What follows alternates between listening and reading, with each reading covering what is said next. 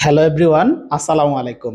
আজকের ভিডিওতে আমরা একটা গুরুত্বপূর্ণ বিষয় নিয়ে কথা বলব। সেই বিষয়টি হলো সাইকোলজিস্ট এবং সাইক্রেটিস্টের মধ্যে যে বেসিক ডিফারেন্সটা আছে, সেটা জানার চেষ্টা করব। এটা জানানোর একটা বড় কারণ হলো আমাদের মধ্যে অনেকেই এই ব্যাপারটাকে গুলিয়ে ফেলে যে কারা সাইকোলজিস্ট এবং কারা সাইক্রেটিস্ট কার কাছে আগে যাব বা কার কাছে আমাদের বেশি প্রয়োজন হবে, কে কোন কোন বিষয় নিয়ে কাজ করে, এই বিষয়টা অনেকেই বুঝতে পারে না। তো আজকে আমার সাথে একজন অতিথি আছে, আমি এই অতিথির সাথে কথা বলব। আসসালামু আলাইকুম। সাইকোলজিস্ট এবং সাইকিয়াট্রিস্ট আমরা দুইটাই মনে করি মানসিক স্বাস্থ্য নিয়ে কাজ করে। হ্যাঁ আসলে কাজ করে। কিন্তু আমরা কখন কার কাছে যাব এটা বুঝতে হলে আমাদেরকে একটু দুইটার পার্থক্য জানতে হবে। সাইকোলজিস্ট যারা হয়, তারা হচ্ছে আপনারা অনার্স মাস্টার্স সাইকোলজির উপরে করে আর মাস্টার্সটা অনেকে হচ্ছে অ্যাপ্লাইড যে ব্রাঞ্চগুলো আছে ক্লিনিক্যাল কাউন্সিলিং বা স্কুল বা এডুকেশনাল যে বিষয়গুলো আছে, এগুলোর উপর ওনারা মাস্টার্স করে থাকে।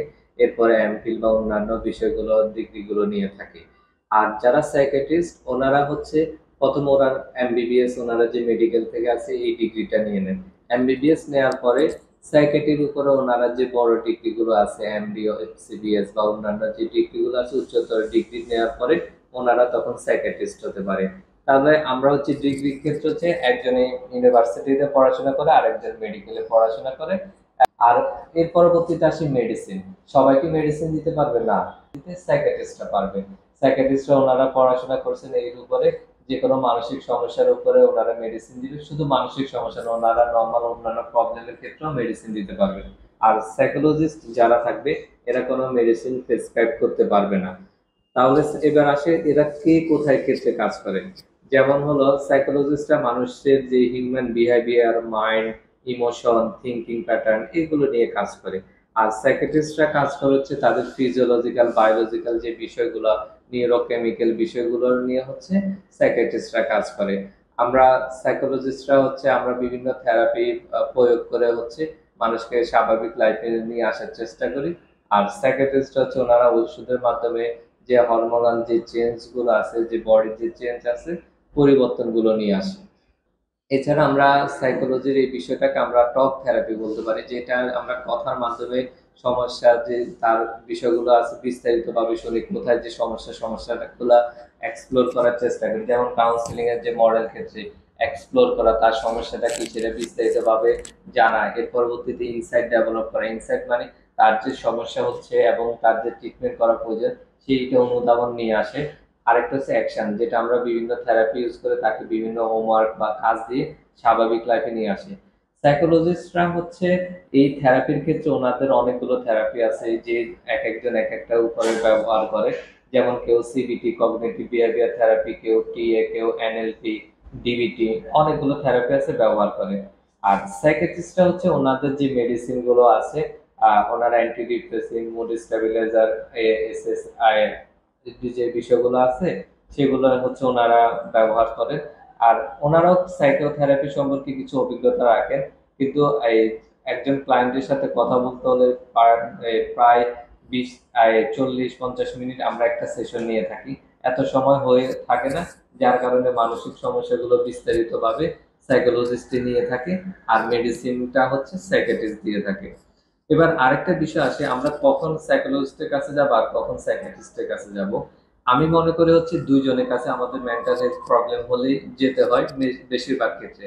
হ্যাঁ আমার যদি সমস্যাটা খুব অল্প মাত্রায় হয়, তাহলে আমার কাউন্সিলিং হচ্ছে যে সলভ হয়ে যাচ্ছে। যেমন একটা উদাহরণ দিই, কেউ হচ্ছে না বলতে পারে না, সে প্যাসিভ কমিউনিকেশন করে নিজের প্রয়োজনগুলো অন্যকে বলতে পারে না। এখন তাকে অ্যাসেপ্টিভ কমিউনিকেশন তার লাইফে শিখতে হবে। এখানে না বলাটা শিখাতে হবে, যেটা মেডিসিন দিয়ে কাজ হবে না।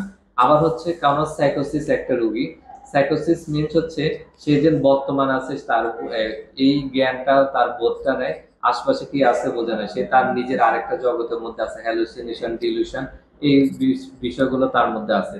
ওই অবস্থায় কিন্তু কাউন্সিলিং কাজ করবে না। তখন তাকে ফুল হচ্ছে যে আপনার মেডিসিন সাইকেটিস্টের কাছে যেতে হবে মেডিসিন নিতে হবে, এবং হচ্ছে তারা একটা স্বাভাবিক অবস্থা নিয়ে আসার পরে তারপরে কাউন্সিলিং অতএব আমাদের দুইটা ক্ষেত্রে লাগবে। আর নর্মাল যেমন আমরা ডিপ্রেশনের কথা ধরি আমাদের যখন সিভিয়ার বা অন্য লেভেলের ডিপ্রেশন থাকে, তখন কিন্তু আমাদের মেডিসিনও নিয়ে হচ্ছে, আমাকে স্বাভাবিক থাকতে হয় কাউন্সিলিংও নিতে হয়। যেমন আরেকটা কথা বলি ওসিডি অবসেসিভ কম্পালসিভ ডিসঅর্ডার এখন আমার কারও ওসিডি হচ্ছে, কেউ যদি বলে, আমি যে একদম এই হচ্ছে মেডিসিনে খাব না মেডিসিনে নিব না এটা তার জন্য ভুল। বা কেউ যদি শুধু আমি মেডিসিন নিব কাউন্সিলিং নিব না এটা একটা ভুল হবে।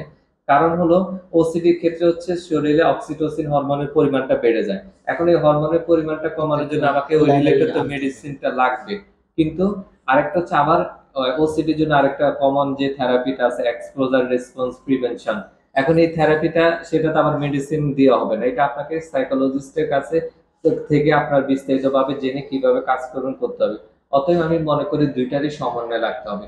হ্যাঁ কার কাছে প্রথমে যাবেন? আপনার কাছে আমি বলব যদি সমস্যাটা অনেক সিভিয়ার মাত্রা হয়ে যায় এবং মিডিয়াম থেকে আপনি উপর লেভেল আপনি মাস্ট সাইকিয়াট্রিস্ট দেখাতে হবে আর ছোট অল্প মাত্রা থাকলে সাইকোলজিস্ট হচ্ছে দেখাবেন আর আমি আমাদের দেশে টেন্ডেন্সিটা খুব কম বাট এটা থাকা অনেক জরুরি এবং প্রয়োজন।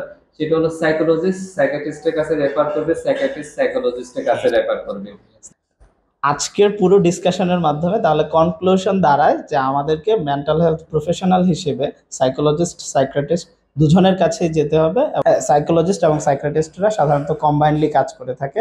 আশা করছি পুরো ভিডিওর মাধ্যমে এই ব্যাপারটা আপনাদের ক্লিয়ার হয়ে গেছে যে সাইকোলজিস্ট এবং সাইক্রেটিস্টের ধারণাটা আসলে কি। আল্লাহ হাফিজ, দেখা হবে পরবর্তী কোনো ভিডিওতে।